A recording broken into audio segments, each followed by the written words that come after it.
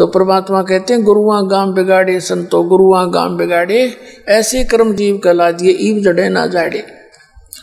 तो यहाँ बताते हैं कि जा सतगुरु की मैं बलिहारी, जो जामन मरण मिटाही तो इस जन्म और मृत्यु के रोग का, इस दास के अतिरिक्त कितना समाधान कितना ट्रीटमेंट नहीं है, ये गॉड गिवन है। और इसे बहुत आसानी से मोक्ष होगा। इसमें कुछ करना ही नहीं।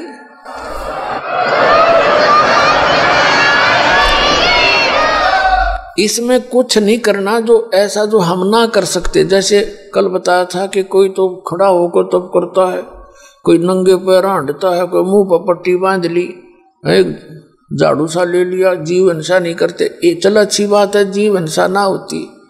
लेकिन बाकी जो काम करना चाहो तो ना हो रहा आपका।